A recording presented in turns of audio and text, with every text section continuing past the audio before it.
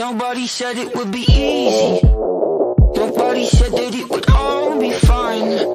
But to get where we're going, brother, you gotta hold the line.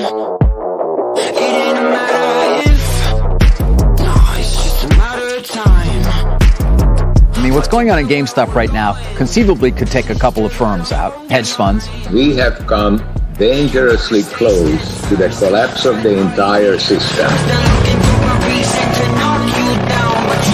Not a cat. I am not an institutional investor, nor am I a hedge fund.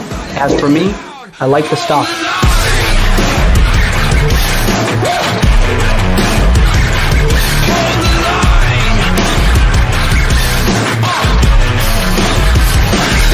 Cheers, everybody!